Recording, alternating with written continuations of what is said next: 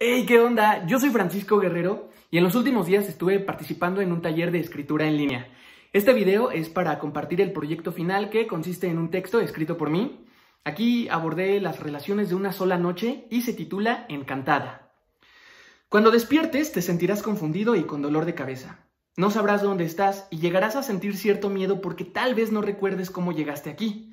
Descuida, tu ropa y tus cosas se encuentran en la mesita que está frente a la cama y la salida del motel está hacia la derecha. Cuídate mucho, fue divertido. Dejo la nota en el buró y contemplo a mi amante dormir. Me pregunto cuál será su nombre. Es guapo, probablemente hasta es interesante. De pronto me llega el recuerdo de cómo besa y me ruborizo. Vaya que besa bien. La habitación es cálida, a pesar de que estamos a la mitad del otoño. Probablemente la extraña sensación de haber despertado al lado de un completo desconocido y la prisa por llegar a casa antes de que mis padres despierten me mantienen lo suficientemente distraída como para sentir el frío.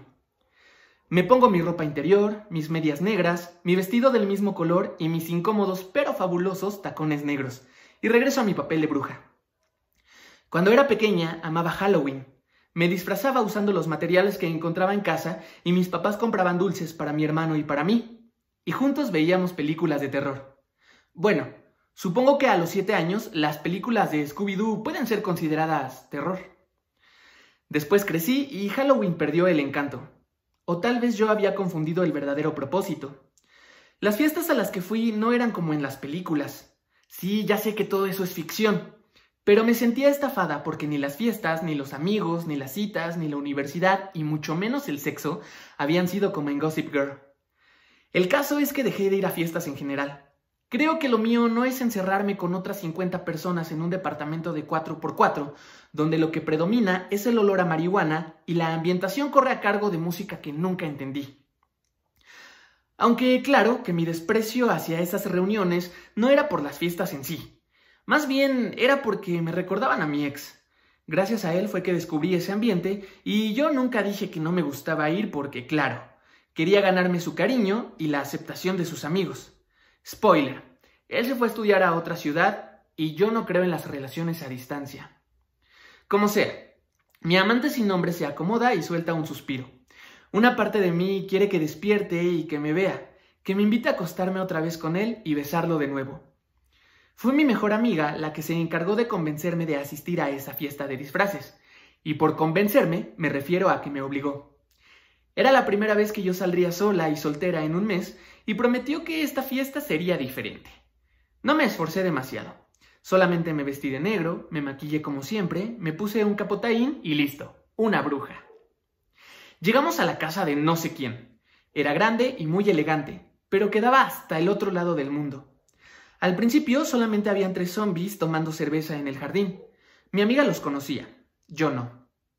Saludamos y entramos. En la sala, un vampiro conectaba el equipo de audio, y al cabo de media hora comenzaron a llegar los demás invitados y yo experimenté esa sensación de estar sola a pesar de la gente a mi alrededor. Cuando estuve a punto de irme, mi amiga llegó con un vaso rojo en una mano y un borracho en la otra. O sea, un chico disfrazado como el borracho de la lotería. Mira lo que te traje. Fue lo único que logré entender porque el volumen de la música estaba muy alto. Pensé que se refería al vaso, Así que estiré la mano y ella me entregó al muchacho antes de desaparecer de nuevo. Hola. Su sonrisa tenía un toque infantil. Dejé de prestar atención a lo que decía. Me perdí en mis pensamientos. Nunca he tenido una aventura, así que tomé la decisión de que me la pasaría bien con él y ya. No habrían consecuencias, no celos, no explicaciones, no llamadas al otro día para ver cómo estoy, un romance de una noche, y cuando piense en esto sería como un sueño borroso. El diálogo es lo de menos. Él hablaba y yo fingía escuchar. Le di permiso de besarme. Seguimos bailando y yo vivía mi fantasía mientras él continuaba bebiendo. Se me acercaron más chicos, algunos para platicar, otros para bailar y unos cuantos para brindar. Pero mi hombre tenía algo que yo describiría como encantador. Le dije que me quería ir y él me preguntó si podía pasar la noche conmigo.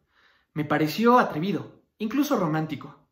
Lo pensé mucho, ella estaba ebrio y parecía inofensivo, pero eso no quitaba el hecho de que lo había conocido hace apenas unas horas.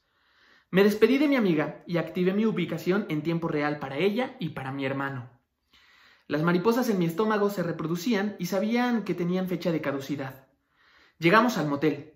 Él se tambaleaba. Creo que prácticamente abusé de ese muchacho. Jugamos a los besos y nos quedamos dormidos. Fue mejor que todos mis ex juntos. Y fue perfecto. No sentimientos, no enredos emocionales, no obligaciones. Cenicienta ya no quería que el príncipe la fuera a buscar. Lo miro por última vez y salgo de la habitación. Ya recuerdo, se llama Manuel. Encantada de conocerte.